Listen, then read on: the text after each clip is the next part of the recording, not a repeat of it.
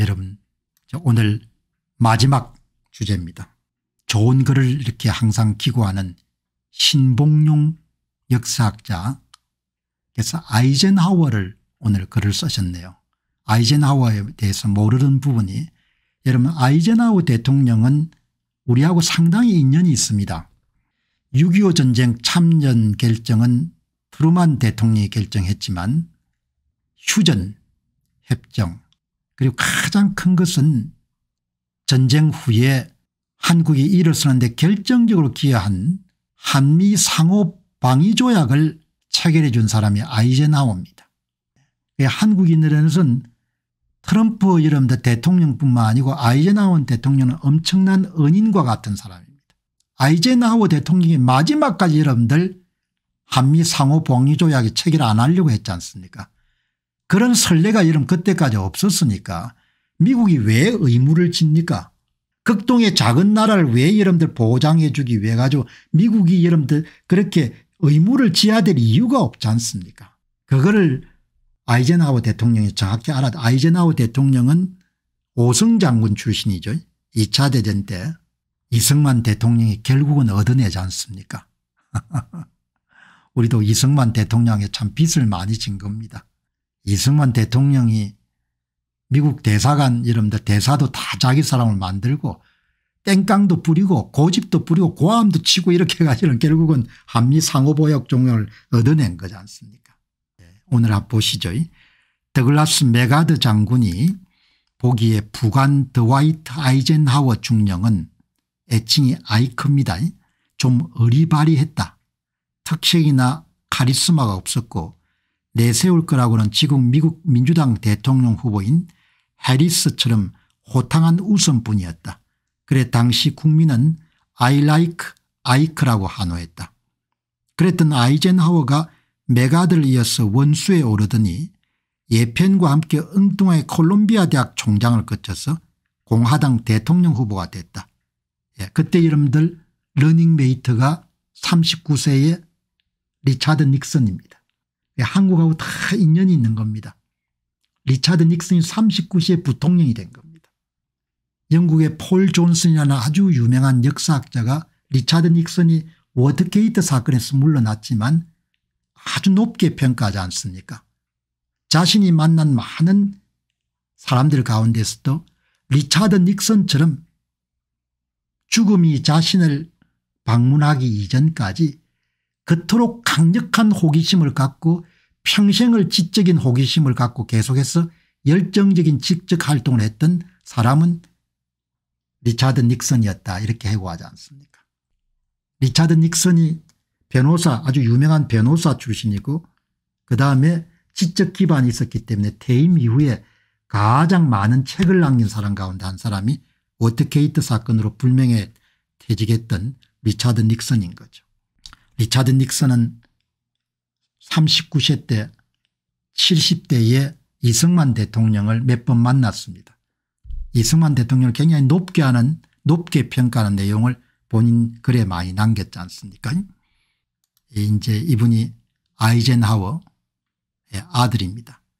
1952년 미국 대통령성에 당선된 아이젠하워는 한국전쟁의 전황을 살피려고 그해 12월 2일 밤에 오산 비행장에 도착했다.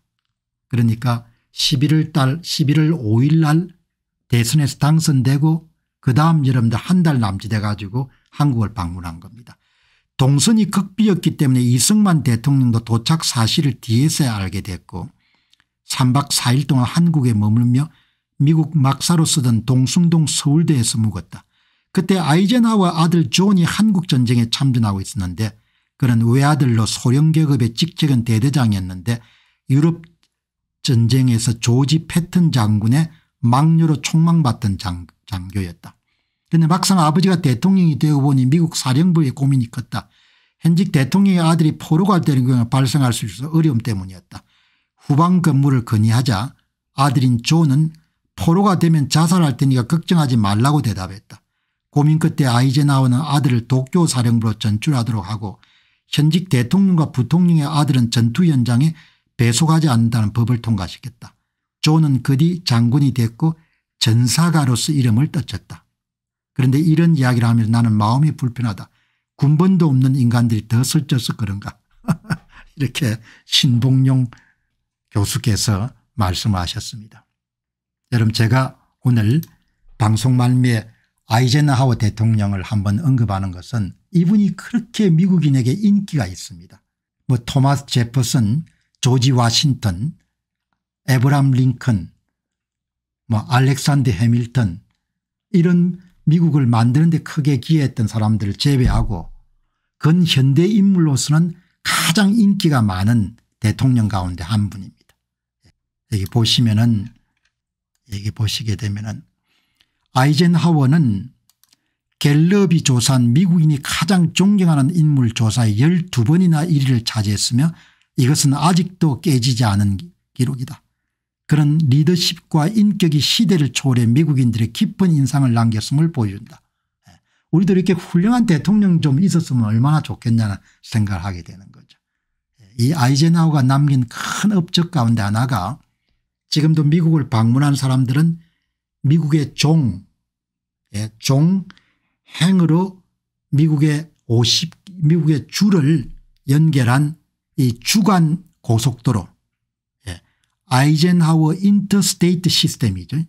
이걸 여러분들 관철시켰던 인물이 아이젠하워입니다. 예, 그래서 미국인들에게 아주 오랫동안 기억에 남아있고 지금도 사랑받는 대통령이죠. 예, 이게 여러분들 인터스테이트라고 하지 않습니까 인터스테이트 95번이 메인주로부터 시작해 플로리다까지 연결하지 않습니까 미국의 모든 주를 동, 동수로 연결한 이런 주간 고속도로 예. 이걸 여러분 만든 예. 미국인들의 아이젠하워 대통령에 대해 깊은 존경심을 갖는 이유는 군사적 업적 조정 능력 소통과 통합의 리더십 겸손과 성실 책임감 친화력 그래서 이렇게 지금도 존경을 받는 특히 이건 큰 업적입니다. 그리고 여러분 아이젠하워 대통령은 또 한 가지 여러분 큰 업적 가운데 하나가 본인이 군인 출신이었는데 군사복합제 한 국가에서 여러분들 소위 그 군과 관련된 군수산업이 지나치게 이런 발전한 것을 굉장히 두려워하고 걱정했던 인물 가운데 한 사람입니다. 그리고 본인이 재임하고 있는 동안 예, 대부분 대통령은 경기 부양책을 통해 가지고 자기의 업적을 남기려고 하는데 아이젠하워 대통령은 재임 시에 정부 재정 지출을 많이 줄이고 한국 전쟁하고 이런 데 2차 세계대전 때문에 팽창돼 있던 정부 규모를 과감하게 삭제하는 데 노력했던 인물이죠. 그리고 아이젠하워 대통령은 왜 강아지 같은 걸 펫, 펫이라고 표현하지 않습니까 예, 펫 프로젝트 그러니까 대통령이 대통령이 개인적으로 좋아하기 때문에 대통령이 개인적으로 필요하는 그런 프로젝트를 잃지 않았습니다. 공사 구분이 명확했던 거죠. 개 식용을 없애기 위해서 수천억을 돈을 투입하는 걸 보고 그런 게 전형적인 뭡니까 펫 프로젝트죠. 펫 프로젝트. 예. 필요 없는데 돈을 더 생산적인 용도에 써야 되는데 자기가 좋아하니까 자기 마누라가 좋아하니까 하는 프로젝트를 펫 프로젝트를 하는 겁니다. 그런 걸 안 한 겁니다.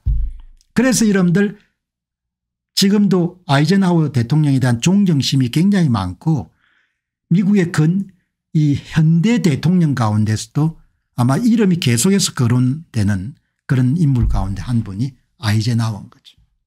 2차 세계대전은 오성 장군이었고 그러니까 이렇게 훌륭한 대통령이 되면 참 좋은데 다 여러분들 그냥 시계가 시야가 좁고 시계가 짧은 겁니다.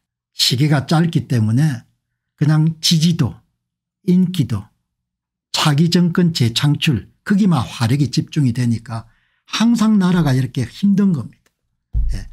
시야를 넓히고 시계를 멀리하게 되면 은 그 시계 속의 후손과 다음에 올 후손까지 다 연결을 생각하게 되면 은 공평무사한 공사구분이 명확한 진짜 필요한 정책을 집행할 수가 있는데 그게 여러분 대, 대한민국에 참 부족한 거죠.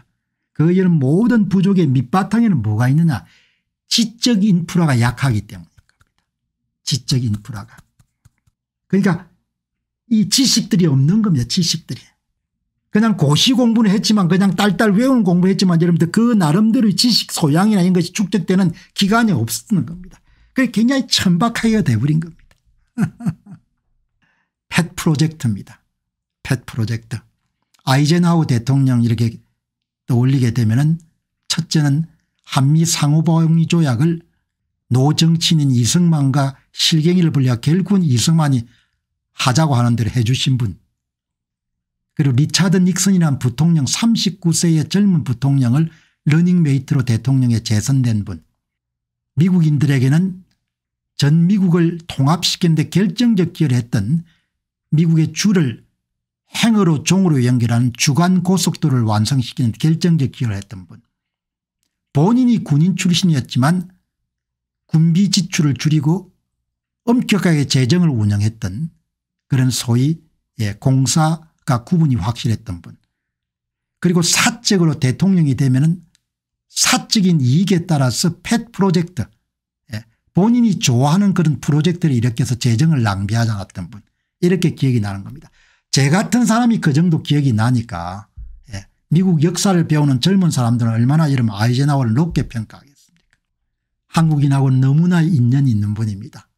그리고 아이젠하워 대통령을 기억할 때 우리가 우남 이승만을 기억해야 됩니다.